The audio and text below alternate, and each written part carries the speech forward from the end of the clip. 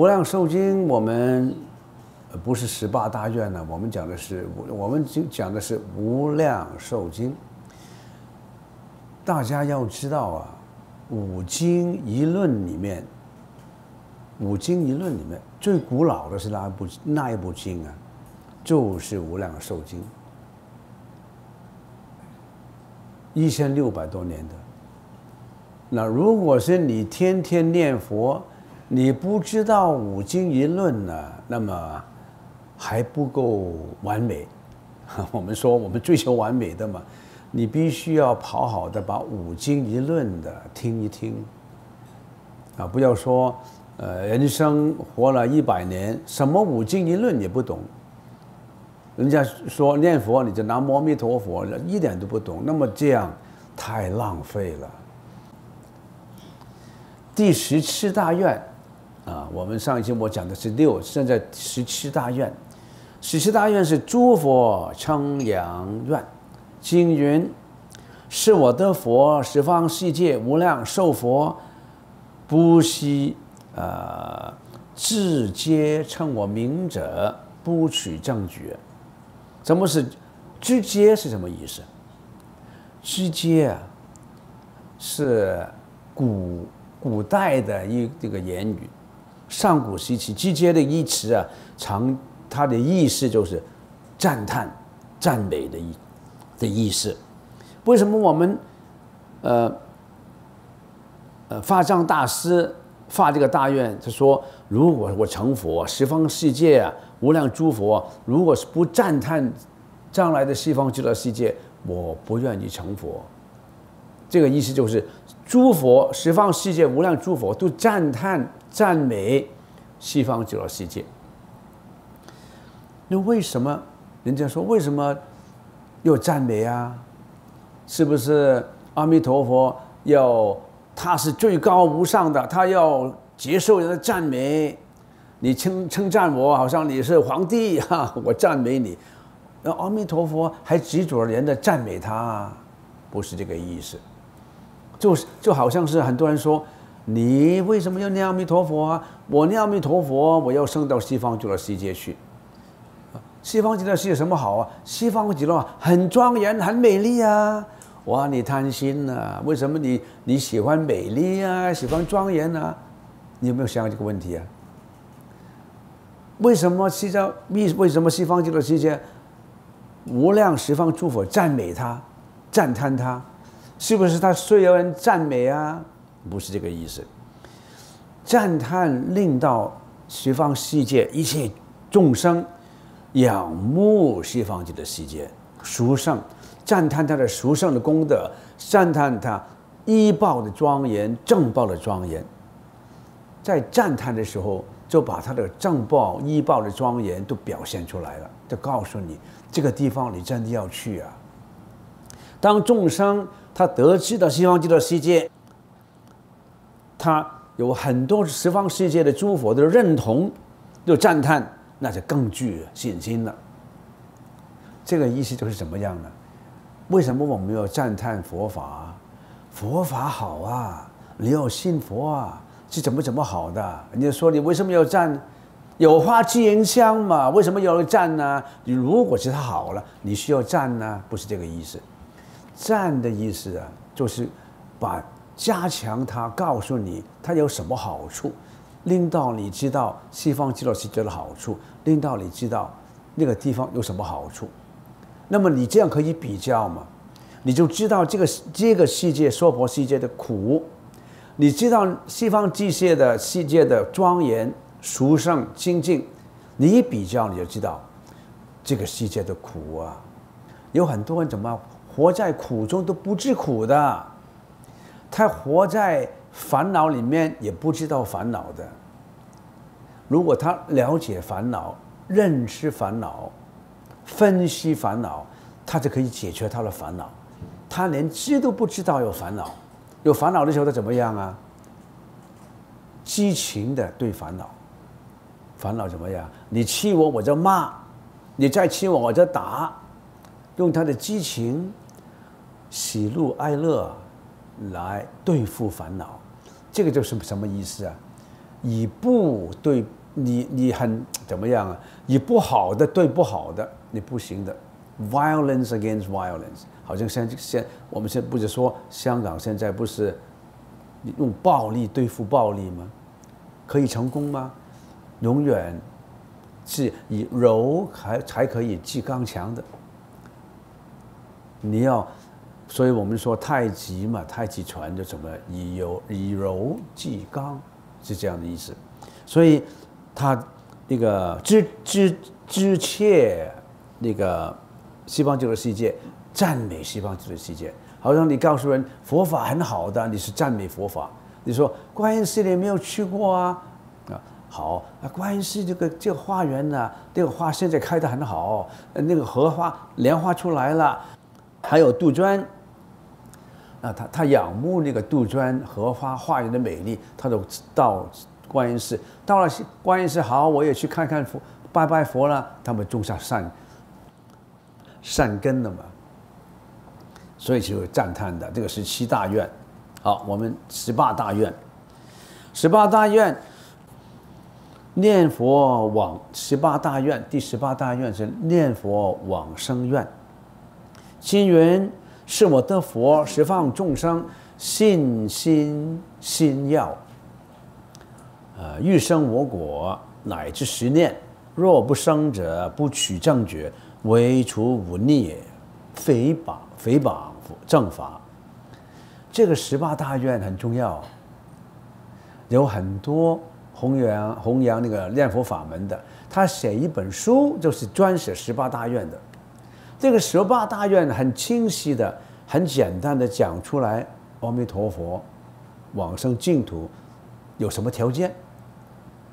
如果是你既心信他，你好要他，好乐也是乐乐字，我们这个是动词，既心呃信要，欲生我果，你要到西方极乐世界，你要乃至十念，你要念他的名字的。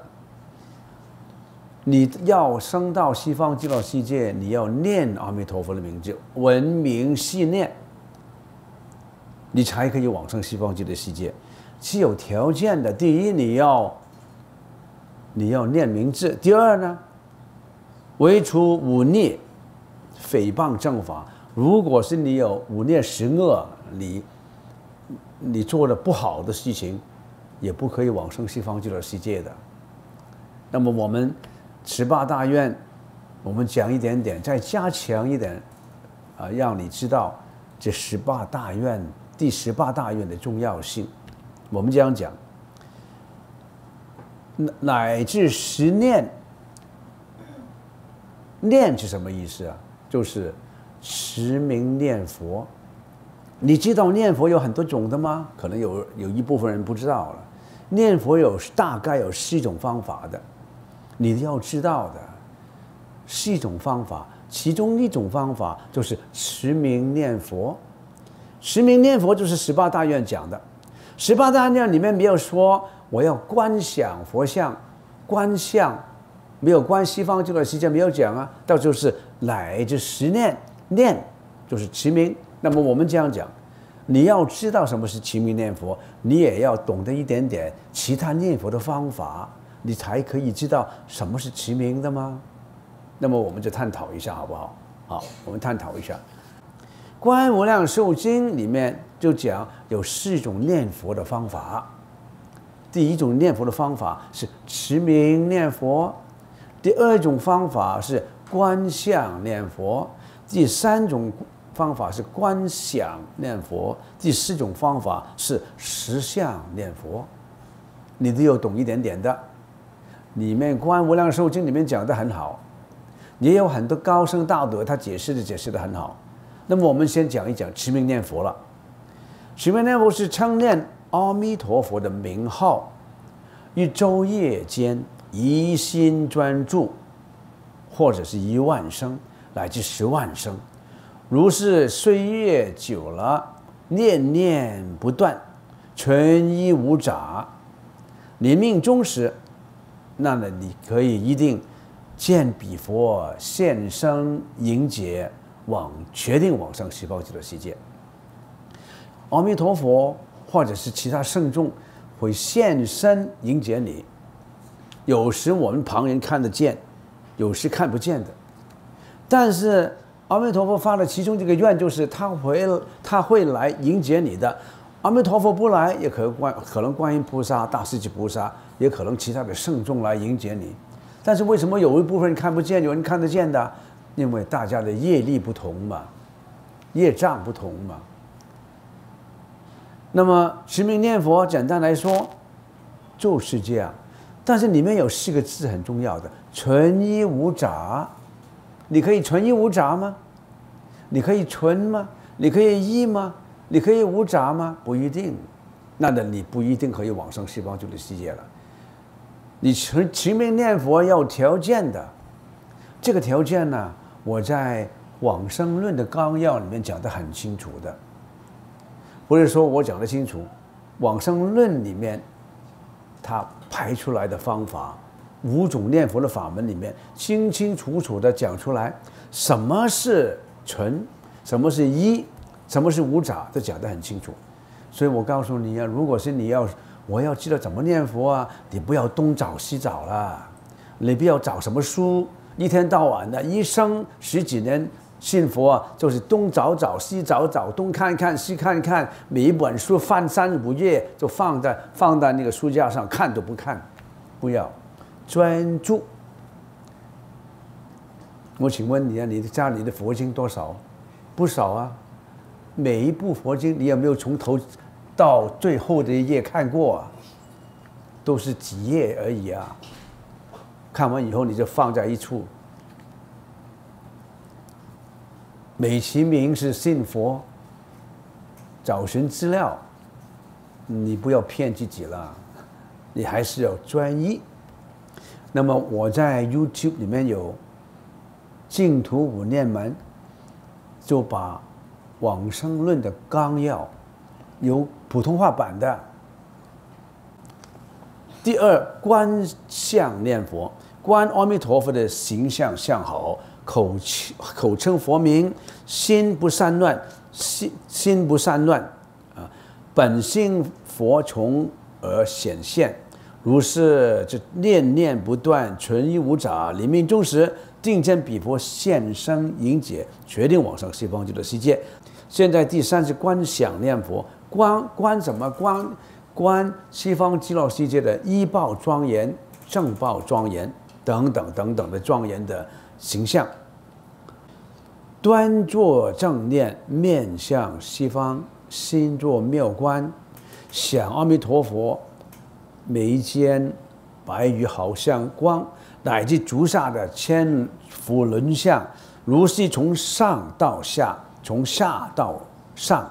辗转观之，观想纯熟，三昧现前，临命终时，决定往生西方极乐世界。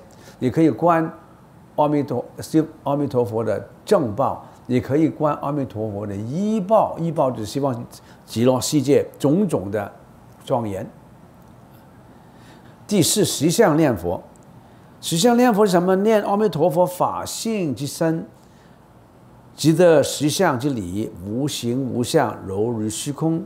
心其众生本来平等，如是之念，只是真念，念念相续，三昧现前，决定往生西方这个世界。但是实相念佛啊，很难呐。实相念佛的人呢，一定要对实相什么意思要懂得很清楚，一定要对佛经里面所所讲的法性是什么一回事。就是你对理要很清楚，你才可以实相念佛。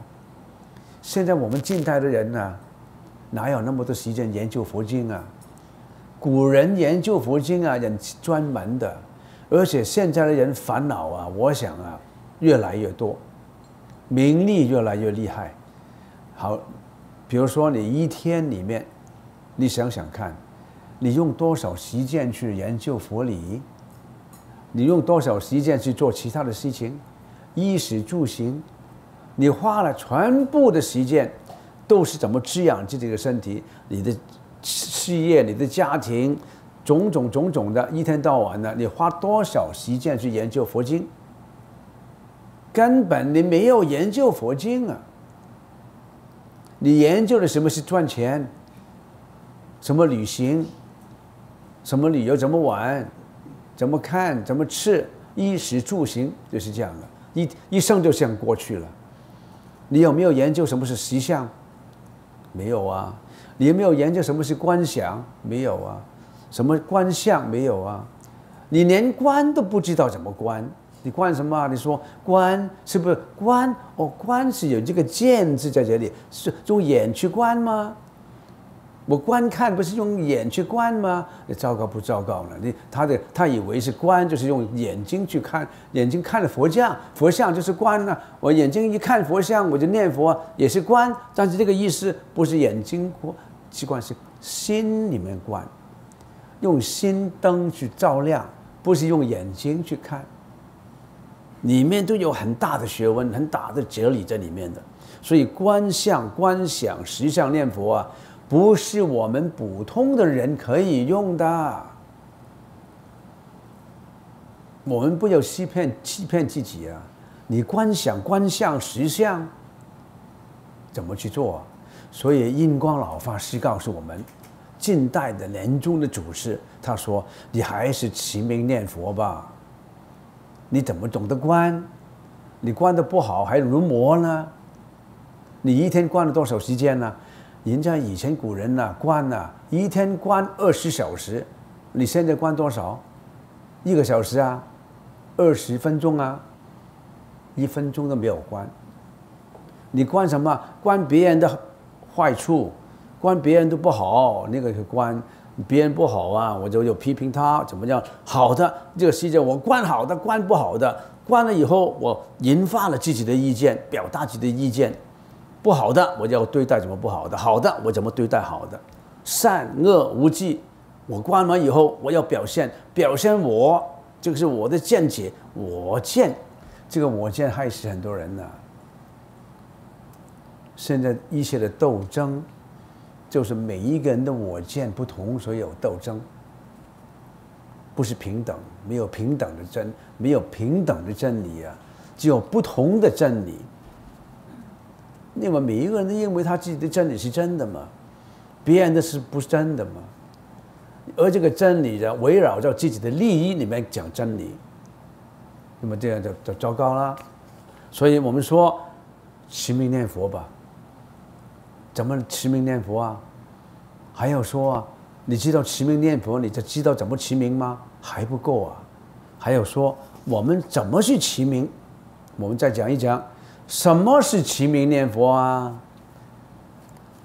每念南无阿弥陀佛，心里面这句佛号，心里面有这句佛号，口要念出来，耳朵要听进去，六根当中。最重要的是把耳根和意根摄住。念佛用什么根去念？念佛啊，第一，舌根。你用口去念的吗？南无阿弥陀佛，没有舌头你怎么念呢？你用舌头去念，就是舌根。那么念到念了以后出来有出声的吗？你耳根听进去是不是？所以你不可以不念出声的，你念出声，你自己听得清清楚楚啊，耳根念佛。还有呢，身呢？身有没有念佛啊？你有佛珠的嘛？你这个手啊，这不是动吗？南无阿弥陀佛，阿弥陀佛。你的手啊，掏你的珠，你就身也念佛了吧？对不对？你身着念佛，或者是你合合掌。也是身呢，身是一个举动，一个行为。你这样一点一点的刀这个珠，这时候啊，你身也在念佛了。意呢，意是推动身口身眼眼耳鼻舌，都是意根去推动的嘛。你一根不推动，你怎么念呢？一根就是你里面想的，里面的经理，里面的。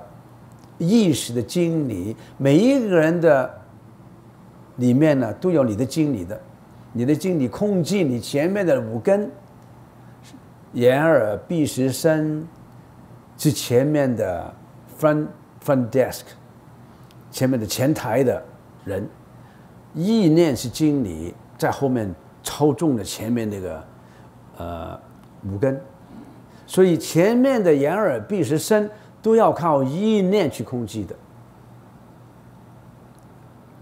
那个意思就是讲的讲的多一点，就是怎么样呢？Your keyboards，你的 keyboard 就是你的眼耳鼻舌身，你的意呢？The program inside the computer，那个就是你的意了。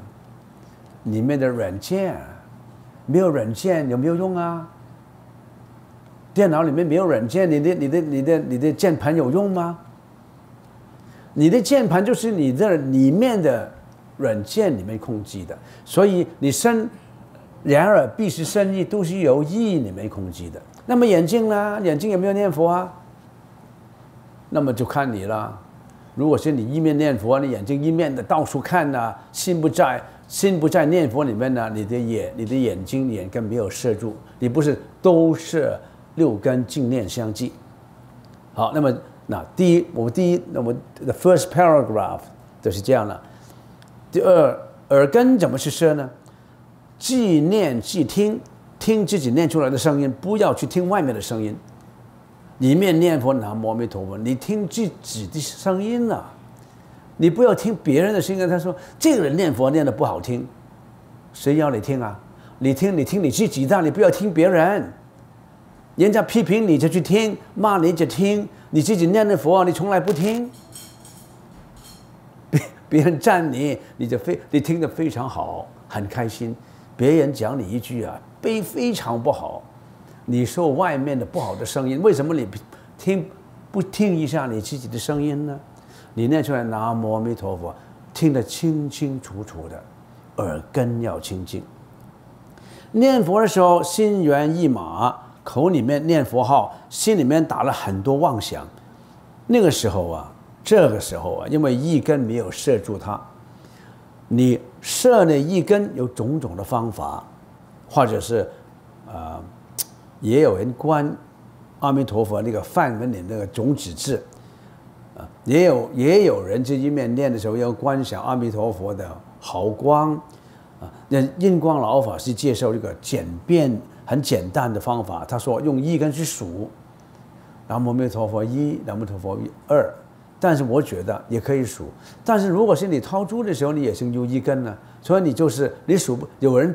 不习惯南无阿弥陀佛一，南无阿弥陀佛二，南无阿弥陀佛三，他不一定习惯。那么你就掏你的珠好了，你就不数了。那么要刀射六根，尽量相继，用这个方法专门修念佛法门，念到心不离佛，佛不离心，心佛一如的境界，你这样才算是念佛。所以你的眼睛不要看，不要东瞄西瞄的。这里，这里抽一抽，这里也看一看，不行。你要眼睛最好是，如果是念佛的时候啊，垂下来，或者你观佛像也行。耳根眼耳嘛，耳根听每一句话，舌头你念每一句每一每一个声音都念，意是推动了一些念佛，身就是你的珠手珠，你这样，或者是你合掌，这样就是七面念佛。那么七面念佛，真的念到都摄六根净念相继，那你就成功了。关于道摄六六根正念相相继，那么这个怎么是是怎么是是尽量念呃念相继呢？我下一期再讲啊是怎么是怎么把六根都摄住来念佛。但是我们没有走开以前。里面不是讲过一句话吗？乃至十念，除非你犯了五孽十恶，你念也不一定往生西方极乐世界。什么是五念？啊，我们就看一看。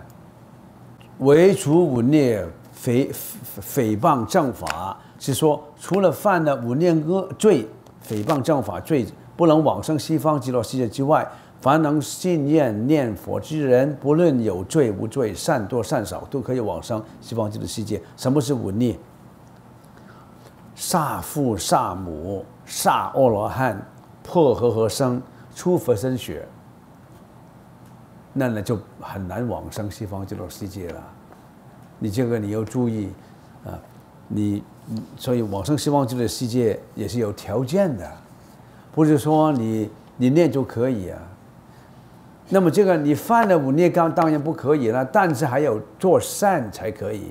关于是怎么是修善、持戒、修善，那么下一次再讲。好，我们就讲到这里。下一次我们讲第二十愿里面，我们就讲多一点关于怎么去修、怎么去念佛，用什么啊都摄六根、净念相继的方法。这个是大师就菩萨念佛圆通章里面所讲的。好，今天讲到这里。